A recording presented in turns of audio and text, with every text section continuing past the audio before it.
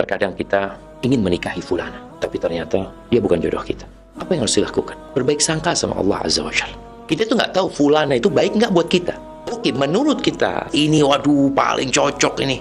Allah mengatakan, وعسى أن تكرهوا شيئا وهو خير لكم وعسى أن تحبوا شيئا وهو شر لكم والله يعلم وأنتم لا تعلمون dan boleh jadi yang kalian benci itu baik buat kalian kita nggak suka dengan takdir ini tapi ternyata itu baik buat kita cuma kan kita belum tahu sekarang ini gimana kondisinya kita biasanya yang kita tahu adalah emosi kita syahwat dan nafsu kita kejadian selanjutnya apa kita nggak tahu dan boleh jadi yang kalian sukai itu buruk buat kalian Kenapa? Allah yang mengetahui kalian nggak tahu.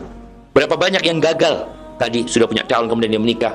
Kalau Allah berikan ganti yang lebih baik, maka hendaklah setiap mukmin itu punya keimanan yang kokoh kepada takdir Allah Azza wa Jalla.